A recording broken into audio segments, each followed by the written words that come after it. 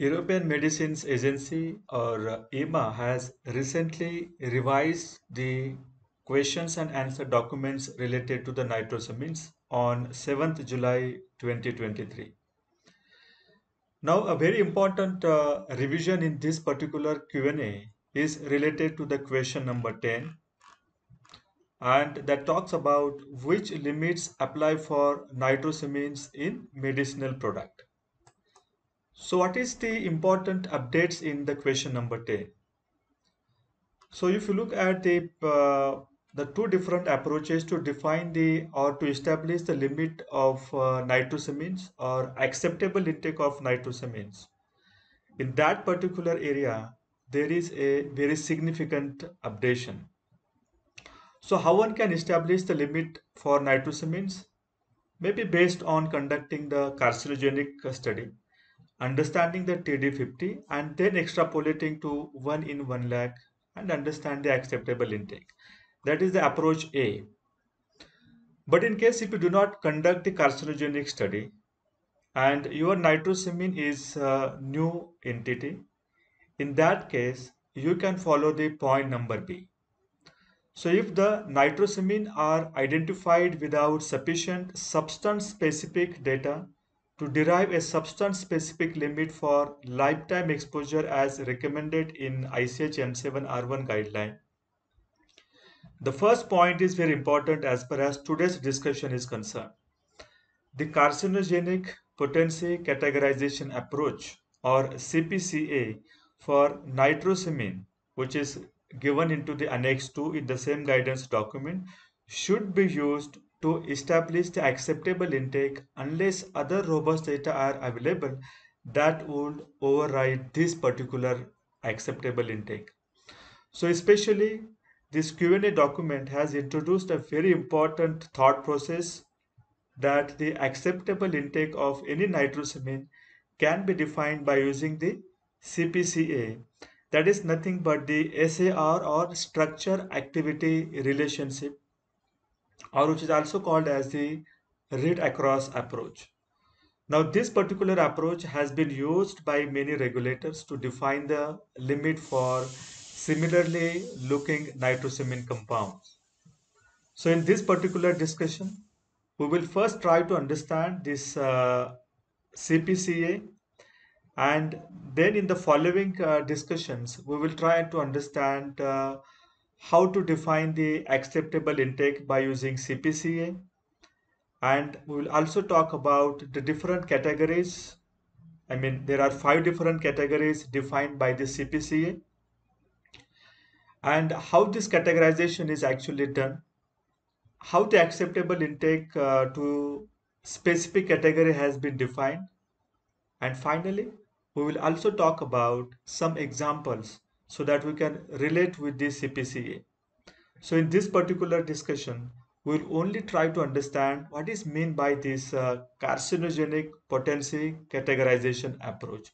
So let me bring the presentation on the board and here is the presentation where we are trying to understand what is meant by this carcinogenic potency categorization approach or CPCA for defining the acceptable intake for nitrosamine.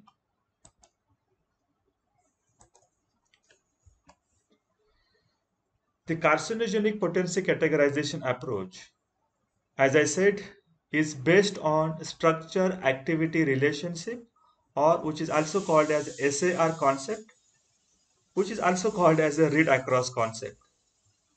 Now is this concept introduced for very first time? No. Now this concept is been in the use since long and even EMA itself has used this concept. Now this is the, the screenshot of the acceptable intake given into the EMA's nitrosamines guideline. And if you look very carefully, you will understand that the SAR or read across approach is used to define the limit for few nitrosamines like DIPNA or DIPNA, then NMBA or MENP or NDBA. So this guideline has also accepted this uh, read across approach in case if uh, the newly identified nitrosamine do not have the sufficient carcinogenic study or database. And same approach is now can be used by the applicant for the newly identified nitrosamines provided there is a structural similarity between the already studied compound and the new nitrosamine compound. By using CPCA, the acceptable intake limit for newly identified nitrosamines without carcinogenicity data can be defined based on structurally close analog with reliable carcinogenicity data. That means you should have a one structure which has the sufficient carcinogenicity data and in case if there is a similar structure that is newly identified into a product then the CPCA or carcinogenic potency categorization approach can be used. The CPCA is used to define the acceptable intake for both nitrosamines and as well as NDSRIs or nitrosamine drug substance related impurities. In most of the cases, industry was struggling to define the acceptable intake for NDSRIs because NDSRIs is going to be mostly a new nitrosamine. Probably the sufficient carcinogenicity data would not be available and in that case you can certainly use this carcinogenic potency categorization approach. The CPCA does not apply to compounds bearing a carbon atom on both sides of nitroso group where the carbon is directly double bonded to a heteroatoms.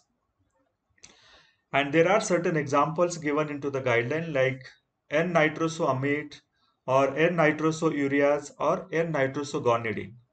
So for this compound, this potency categorization approach will not work. And let us understand the examples. So the first example quoted in the guideline is N-nitrosoamides. So there is a hetero compound present. Hetero compound could be oxygen, could be nitrogen, could be sulfur or could be phosphorus. And we should be a directly double bonded to carbon. So you can easily understand that this is the alpha carbon and onto this alpha carbon this oxygen is double bonded and oxygen is a heteroatom. So N-nitrosoamide is excluded from this particular categorization approach. Same is the case for N-nitrosoureas, where you can easily see that this alpha carbon is connected to again the heteroatom which is oxygen, double bonded with oxygen. So the nitrosourea is also excluded from the CPCA. Same is the case with the guanidine and the nitrosocarbamates. So any double bonded heteroatom connected to the carbon is excluded from the carcinogenic potency categorization approach. Additionally, the CPCA does not apply to nitrosamines where the N-nitroso group is attached to a nitrogen within a heteroaromatic ring. And the example is given as the indole. So what is the indole and what is the heteroaromatic ring? Let us first try to understand the aromatic compound or heteroaromatic compound.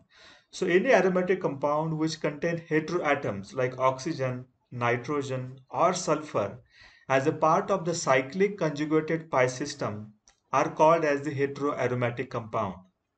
And here is example of indole on the left side that nitrogen is included into the ring so it becomes the heteroaromatic compound and in case if there is a nitroso uh, functional group that is N double bond O connected to the nitrogen inside the ring you can see on this right side then this compound will be excluded from the carcinogenic potency categorization approach. So this is for the first uh, discussion and in the next discussion we will try to understand how one can define the acceptable intake for this uh, kind of nitrosamines by using CPCA. Thank you so much.